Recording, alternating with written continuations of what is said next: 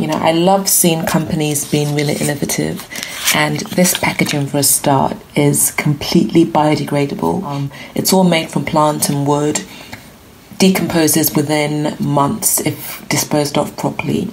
Plastic free, zero waste. Love this packaging. Okay, so um, this is oh, look at that color.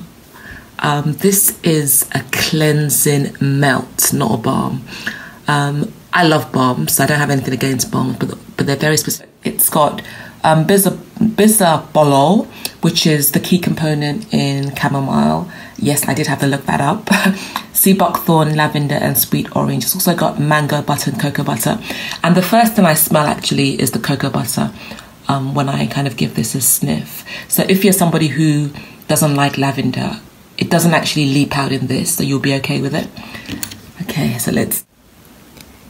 Yeah, this texture kind of reminds me of mango sorbet. I mean, it doesn't smell like it, but it just reminds me of mango sorbet. Mm. How yummy.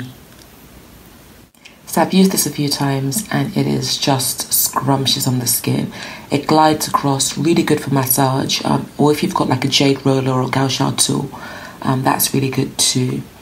Um, leaves skin feeling really um, non-stripped. The only thing I'd say is that if you've got very, very sensitive skin, don't use this around the eyes. Um, I did, and I did feel a tiny little bit of a sting, um, but I'm sensitive to citrus oils and this has got sweet orange in it. But this is absolutely lovely.